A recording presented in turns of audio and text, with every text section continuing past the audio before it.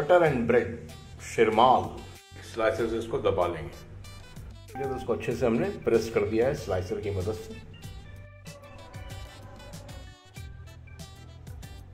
ये अंडे तोड़ लिए इसमें थोड़ा हॉट चिली सॉस डालेंगे।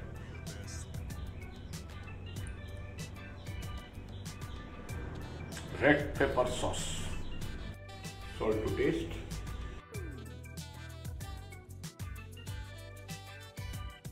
तो अच्छे से फेंट लेंगे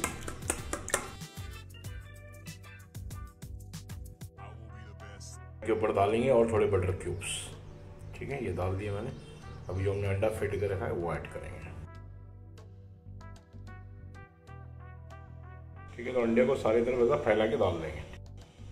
सब तरफ़ से फैला देना इस पे डालेंगे मोजरेला चीज़ पिज़्ज़ा वाला. ठीक है?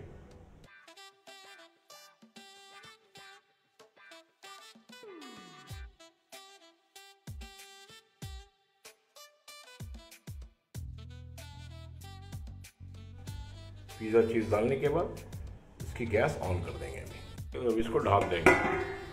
सात मिनट इसको फुल फ्लेम पे पकाएँगे।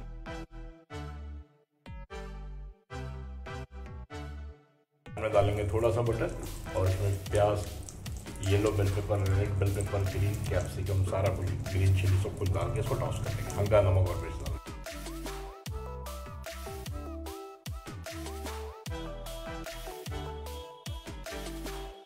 तो हल्का सा सीजनिंग सॉल्ट डाल देंगे और थोड़ी सी लाल मिर्च बस।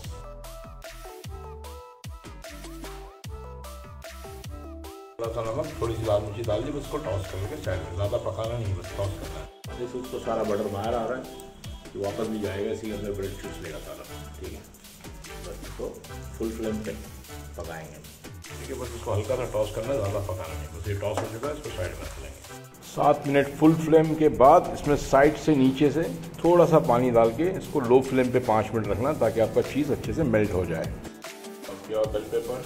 Yellow green, red, onion, and green chilli. अब इसको फैला देंगे।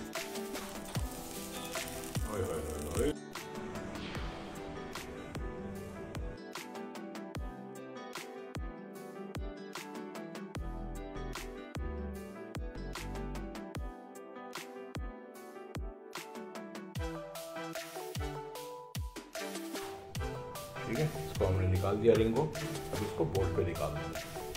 इसमें डालेंगे थोड़ा सा, टमाटर केचप।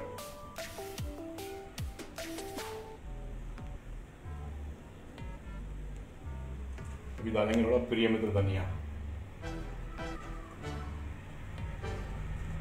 मोटा मोटा ही काटा मैंने रफली ठीक है? बस अब इसको निकाल लेंगे ठीक है, अब इसको काट लेंगे। इसको हमने काट लिया है। ठीक है? ये देखिए जी। ओए आ गया मज़ा। एंजॉय तो आपका अंडा ब्रोकन ब्रेड पिज़्ज़ा रेडी ठीक है? एंजॉय